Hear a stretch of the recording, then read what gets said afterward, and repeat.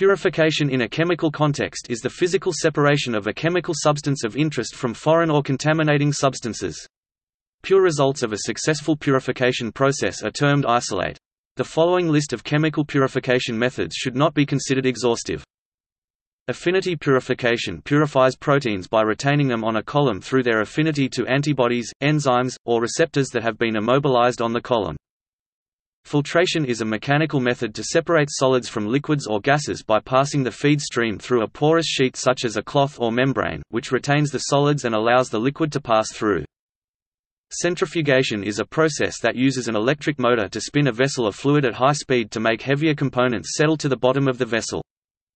Evaporation removes volatile liquids from non-volatile solutes, which cannot be done through filtration due to the small size of the substances. Liquid-liquid extraction removes an impurity or recovers a desired product by dissolving the crude material in a solvent in which other components of the feed material are soluble. Crystallization separates a product from a liquid feed stream, often in extremely pure form, by cooling the feed stream or adding precipitants that lower the solubility of the desired product so that it forms crystals. The pure solid crystals are then separated from the remaining liquor by filtration or centrifugation.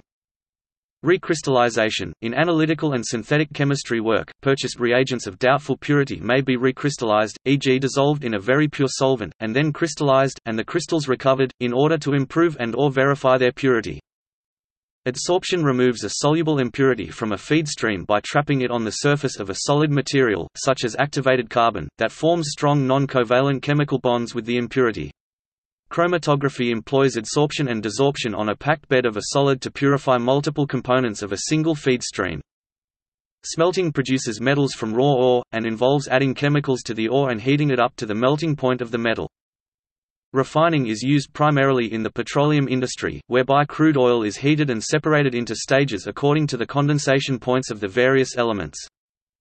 Distillation, widely used in petroleum refining and in purification of ethanol separates volatile liquids on the basis of their relative volatilities. Distillation are of different types.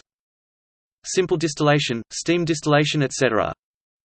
Water purification combines a number of methods to produce potable or drinking water, Downstream processing refers to purification of chemicals, pharmaceuticals and food ingredients produced by fermentation or synthesized by plant and animal tissues, for example antibiotics, citric acid, vitamin E, and insulin. Fractionation refers to a purification strategy in which some relatively inefficient purification method is repeatedly applied to isolate the desired substance in progressively greater purity. Electrolysis refers to the breakdown of substances using an electric current. This removes impurities in a substance that an electric current is run through. Sublimation is the process of changing of any substance usually on heating from a solid to a gas or from gas to a solid without passing through liquid phase. Bioleaching is the extraction of metals from their ores through the use of living organisms. Sublimation Sublimation is the direct change of a solid to vapor on heating without going through its liquid state and is used to separate volatile organic compounds from non-volatile mainly inorganic compounds separation process. From crystallization